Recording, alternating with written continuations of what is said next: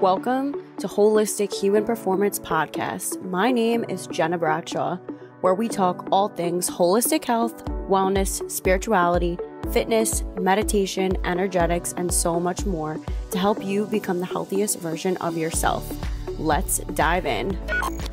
This is not medical advice, this is simply to help you on your journey through health, fitness, and wellness. I hope this helps. You can complement this with anything that you are doing currently in your life. Enjoy.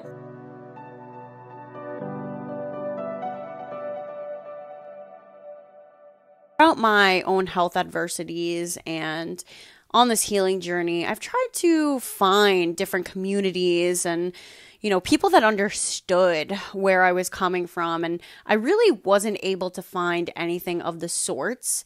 And I wanted to make it a priority of mine to create a community where we really focused on thriving, no matter what you're going through. Maybe it's autoimmune disease, maybe it's cancer, maybe you're someone who wants to tap into their intuition and start their own spiritual wellness business.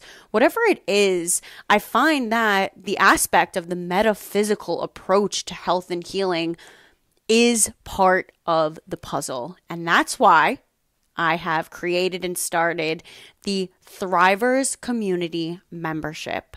I am so excited to bring this to you all today and really just enhance the community of other people who are like minded and want to thrive together and make friends and network with other people who are on the same journey and with one goal. We want to be better, do better, and help the collective. And that is exactly what I want to bring to you all. And this monthly Thrivers community meetup will happen starting May 14th of 2024 and we will meet one time per month and really just brainstorm and come together, different guest speakers, all of the good things to help you thrive in your health and your life. And I hope to see you there. So you can find this at www.holistichumanperformance.co backslash coaching. I'll see you there. Hello, everyone, and welcome to another episode of the Holistic Human Performance Podcast. I'm your host, Gena Bradshaw, and today we have a special guest with us, Noemi Beres.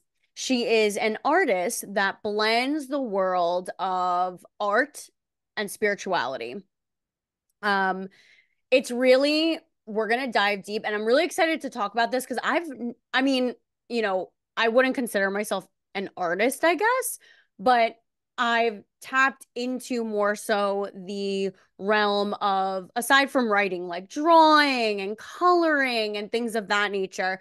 Although I'm not great, like it's still like fun for me. So, um, you know, and I've seen different people who talk about, you know, art psychology and how you can kind of like blend that together to help people with anxiety, overwhelm, finding their way as, you know, an artist or um, anywhere in that spiritual well wellness realm. So I'm really excited to have her on and and talk about the healing power of art because it truly is a healing modality. So welcome to the podcast. Thank you so much for having me today. It's an honor. yeah, so let's get into it. Um so talk about how you even got started in the world of like becoming an artist. Yeah, I mean, yeah, it started, you know, when I was when I was a kid or a teenager. I was always interested in in everything that it connected to art or crafts or jewelry making, painting, uh, drawing. So everything that that was creative. I was like a creative type of child. And then um, the big moment actually came in 20, 2012, and I was expecting my son and my only child. And it was, you know, I just sat down and it was like I got a message from someone from the universe. They're like, you have to do something now and you have to make your first collage. And that was so fascinating because I sat down and I started to make my first very colorful collage that was kind of um, about a mix and match of everything I found, like old buttons and pictures and whatnot that I found at home. And since then, I didn't stop creating collages and that was 12 years ago. So um, yeah, it was very, it's very, it was so interesting. It just came to me, and this is the, this is the um, way I wanted to express myself. And then I became more and more interested in the different part of collage making. I was doing paper collage, like cut and paste collages, digital collages. And actually, I made some kind of like, I'm not saying I invented it, but I started to use this new technique that I didn't really find it online when nobody else, you know, does it. And mm. it's, I'm making hand sewn collages on canvas.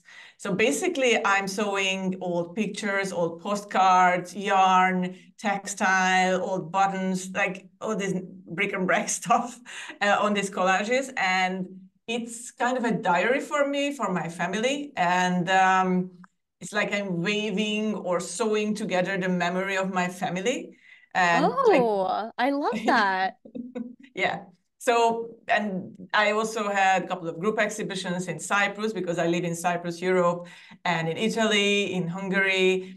And uh, so that was before COVID. And yeah, I it, it was just, I just love doing it and um, I just keep doing it because I it's you know I don't make any money out of it. It's kind of a passion project for me mm. because uh, by by time you know by day I I run a podcast booking agency, but when I have time I I always there and I'm I'm working on my collages. Which, by the way, that's how Noemi and I know each other. exactly. yeah. Not, not because of the collage. So then, you know, when she uh, emailed me about, you know, what she does and the healing power of art, I was like, oh, yeah, come on, let's talk about it.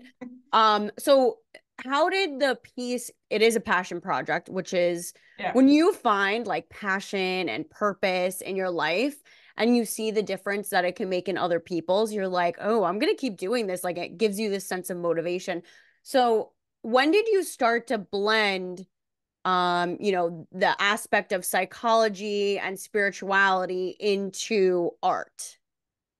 Yeah it started when i started doing podcast guesting and that was like more about business and how to be a great guest on podcast so that's what i usually do. I'm going on people's podcast and talk about basically business.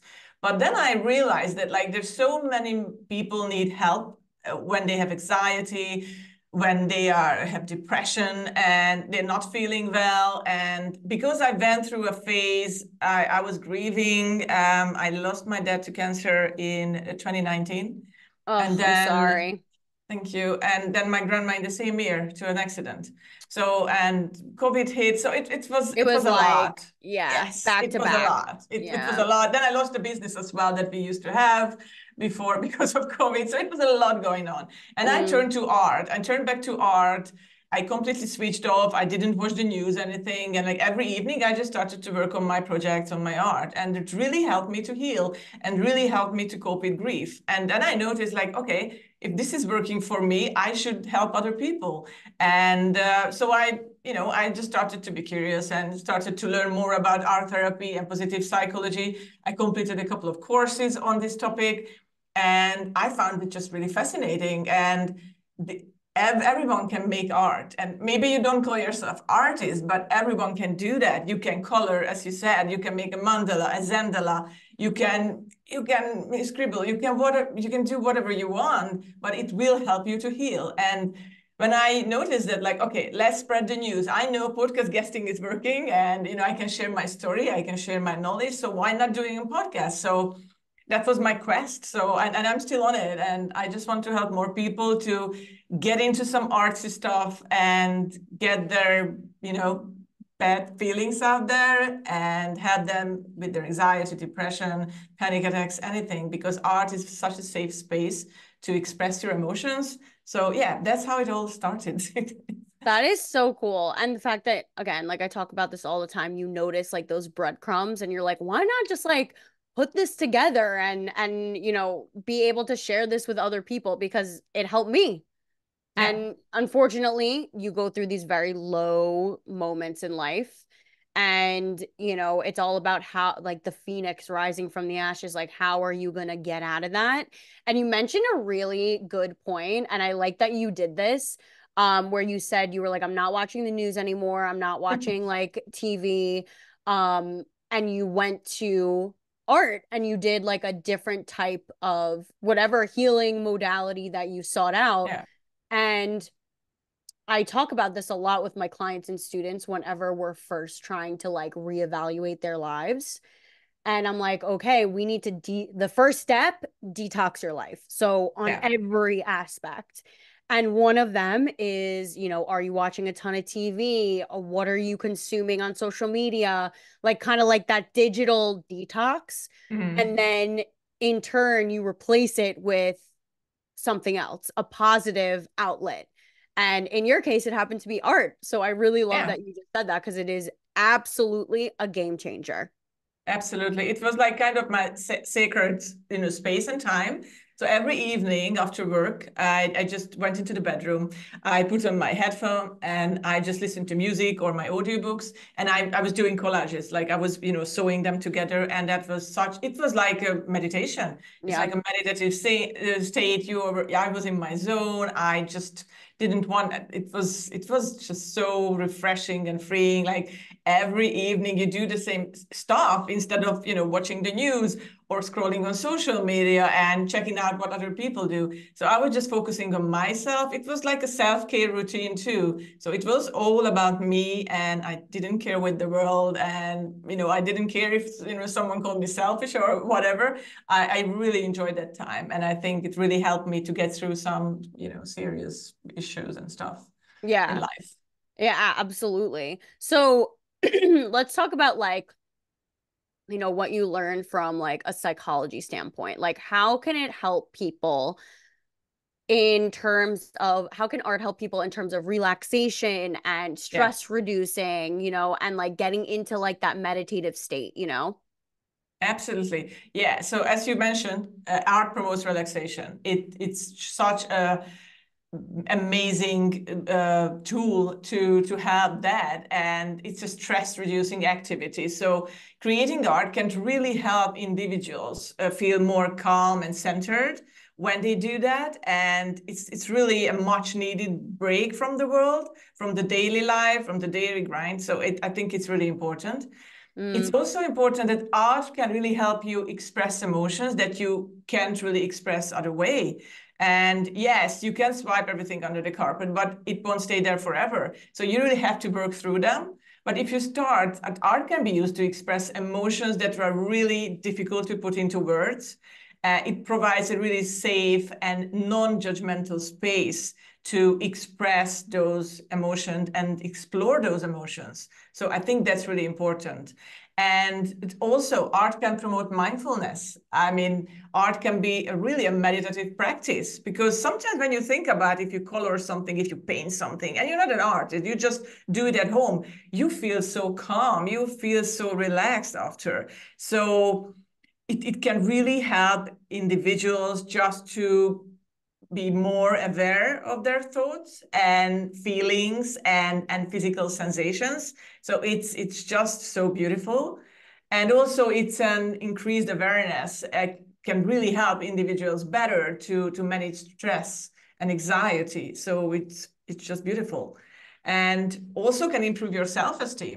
I mean, it really improved my self-esteem when I started to work these collages. And I really enjoyed the journey when I went through. I started a new piece. I didn't know what I was going to do, but it was just so exciting just to put these little pieces together and something nice came out of it. And sometimes I was a bit sad at the end and like, oh gosh, I have to, you know, it doesn't matter. I have to, you know, start a new one, a new plan and it really improved my self-esteem because when you when you see a finished piece i mean it's really help you to provide with kind of sense of accomplishment and pride because yes i did this and i'm proud of myself. And maybe it's not perfect and maybe you don't want to exhibit there in the group exhibitions or you don't want to start a solo ex exhibition straight away but you still feel really you know uh, happy about it and accomplished and also, you don't have to do art alone. It can foster social connection. For me, it was I because it was during COVID, so obviously I couldn't really go out and socialize and doing right. art stuff together with other people. But art can really be a social activity. I mean, if you think about the old days when ladies got together and they were sewing these patchwork um, stuff together and and they just work together on something beautiful. You, you can still do that. There are different groups and communities you can join and it can really help you to reduce the feeling of uh, isolation and which is still around. Even after covid it's still around. And i just saw uh, I think Arianna Huffington just shared a post on LinkedIn the other day is like about isolation. And yes, I think like 60% of the people still tell, you know, sharing that no, they don't meet up with friends as much as they used to do. And if you start something new, if you crochet or if you knit or something, there's also clubs around. So you can join those because community really helps to heal and you don't have to do everything alone. So yeah, these are the psychological point of views that it really help uh, with art and it just, yeah. Yeah, that's that's a great point because I think a lot of people put like the expectation of like perfectionism yeah. on what you're like you're not like a master artist you know what i mean i mean maybe eventually you might become one but you know just like start just do something um what do you think is the best way for people to who maybe you know are a little bit stuck in that perfectionist mentality of like i'm going to do it wrong. There has to be a right way to do it. Like what are some words of wisdom and some advice you would give those who like want to get started and be more creative but don't know where to start yeah, I mean, just the best advice: just don't think about that part. just do it. Just do it. So don't overanalyze things. And yeah, just like for example, if you start to make a collage, I think that's the easiest thing that you can do. And because sometimes people think I can draw, I can paint, I'm not good not good with that. But making a collage, I mean, everyone got a pair of scissors, glue, piece of paper, maybe some old magazines or books or whatnot. You can print stuff out from the internet. and you can just print them out and cut it up and you just put together a collage. I mean, anybody can do that. Even I remember my son was, how old he was? Like three, four, whatever. He started to making these collages. And yeah, I mean, if a three, four year old child can do that, you can do it too. So start with a collage, for example, because I, I always, you know, I, I love making collages. So even if it's paper or digital or whatever, but like it's really easy to make, you can't go wrong with it. I mean, just, yeah, clip out, just cut up something, glue it together, and like, wow, this is so cool. Just try it and just experience the journey and it doesn't have to be perfect. And you don't even have to show it to anyone because this is for you. It's not for the general public. So yeah. just, just start doing something or start to crochet or knit. I mean that's also very relaxing. I mean and you can check some tutorials on you know youtube and start doing it. And obviously you don't have to wear all this clothes and everything what you make but yeah you can start to knit a scarf or whatever. That's the easiest. So yeah. I remember when I was in middle school, I like crocheted. I made like scarves. I yeah. And I recently ran into someone when I was doing a vendor event and she crocheted these like amazing mm. like 3D uh like gnomes and like all like different animals and stuff and it was like the cool I'm like maybe I should get back into crocheting it's it's like a great outlet for you to like be very present and just not think about whatever is going on in your yeah. life and just take a step back and be like oh okay let me just like be creative we forget to like tap into our playfulness we become so rigid and structured mm.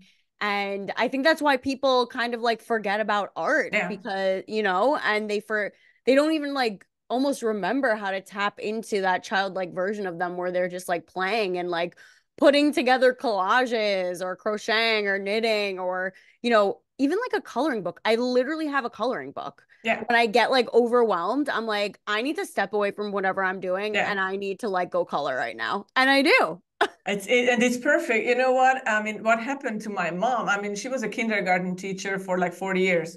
So she was into arts and crafts obviously because of the kids but then it was just a on a side note, so this story is, goes back to COVID again, and she came to Cyprus to visit us, but she's stuck here for three months because there were no flights out from the country. So, oh and I and I was born and raised in Hungary in Central Europe, so mm. yeah, like a two and a half hours flight from here. But still, you she couldn't get home, so she got kind of anxious, and and I saw that like, oh my gosh, my mom is just you know she's not in a good place. So what I did, I found at home because that you know you couldn't go buy anything, so it's like, oh mom, I have have some like mandala coloring books here at home. So I just gave it to her and with some, you know, uh, color pencils and everything. And she started to make these mandalas, like just coloring them. And I don't know how much she went through through the COVID time here with us. I mean, she needed it for sure. And, but she did they were so beautiful and then she was so proud and i saw that it really helped her to to relax and not to worry so much about the world and you know what's going on in the world and uh, so it really helps people to relax. And she did it like religiously every day like in the afternoon. It's like okay i'm doing my coloring today. It's like cool. And that's so awesome. Really, it was so nice. And uh, also i also read about it uh, about the you know uh, the art therapy uh, during my art therapy course that for example even like uh, adults can finger paint because some people say oh my gosh that's only for kids but no you can do it too. I mean you just you know you just paint and your you know your fingers your hands and off you go. And it's just fun because as you said we forget about how fun it was to be a child and how fun it was to to color with crayons or with pencils or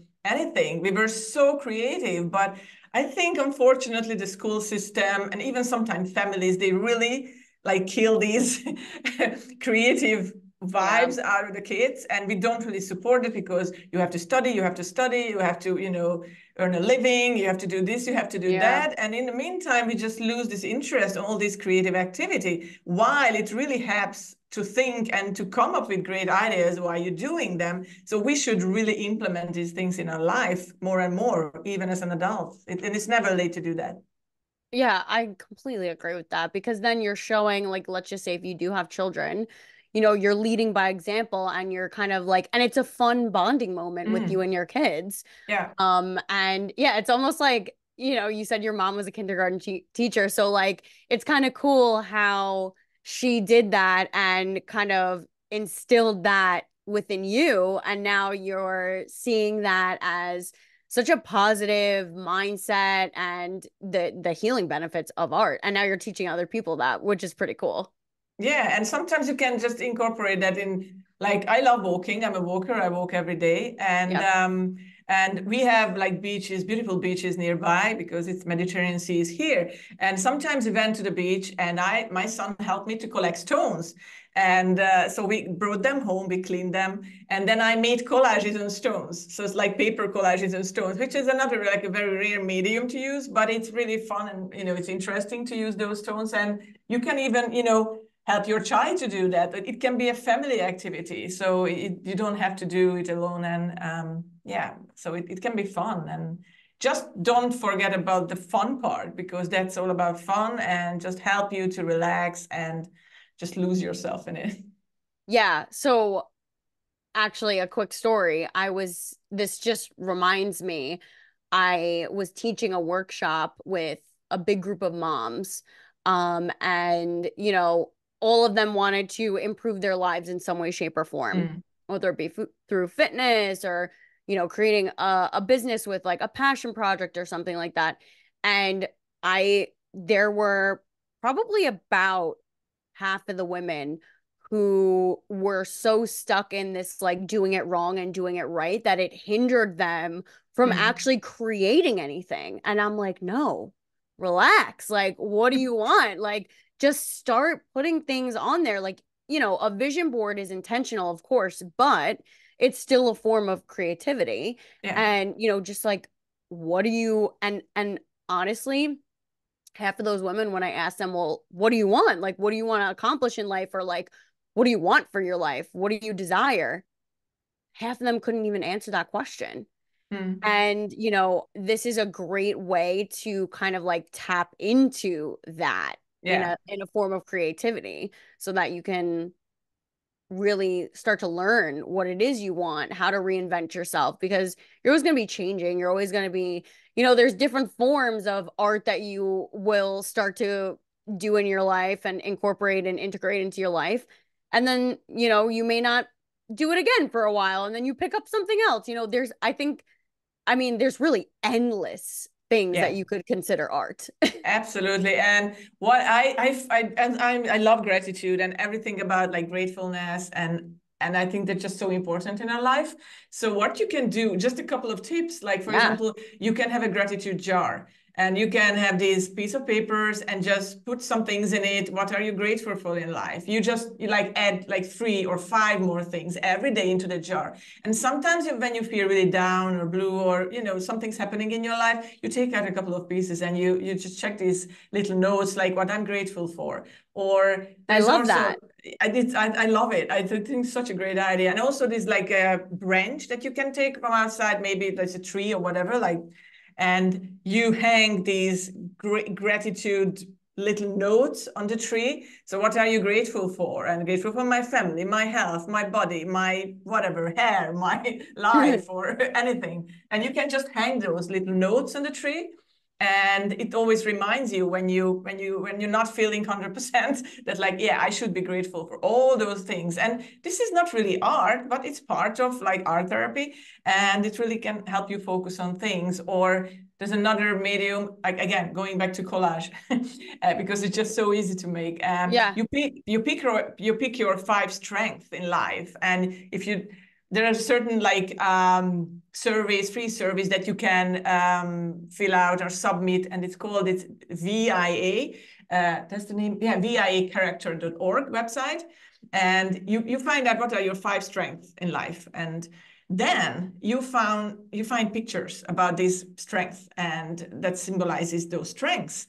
And then you cut them out, use the glue, scissors, everything, and you just put them on a paper. So voila, that's a collage and you can hang them somewhere that you can see it every day. And when you don't have energy to do stuff or you you're really not feeling up to par those days, you just look at those, you know, just look at that collage and just remind you what are my strengths, what I'm good at. And these are like little things and small steps that can really help you make a difference in your life. And again, you don't have to be an artist to do that. I absolutely love those ideas. I am 100% incorporating those into my life. That is so fun. The gratitude jar, absolutely love that. And then bringing in a, you know, a branch like or something from nature, like yeah. that is awesome. What a great idea. Wow, I hope the listeners uh utilize this. So great. Um so as we wrap up, what are some words of wisdom you have for the listeners? For me, it's just to find your inner peace and to find relaxation and to get rid of anxiety and and coping with grief you really have to start something and just start doing it and change your habits and start doing something artsy. And you don't have to be an artist doing that but you have to be persistent and consistent and you have to do it every day and stick to it. Because as i read it like if you do something for 60 days it will become your habit and then you can get away from it. It's, it was the same with walking for me. And I started to walk, and now I just can get in of it. And like collage making, it's the same. I started 12 years ago, and I'm still doing it. So just keep on doing things. I'm just that's my mantra in life to just keep going, just keep doing things, and it will definitely help you.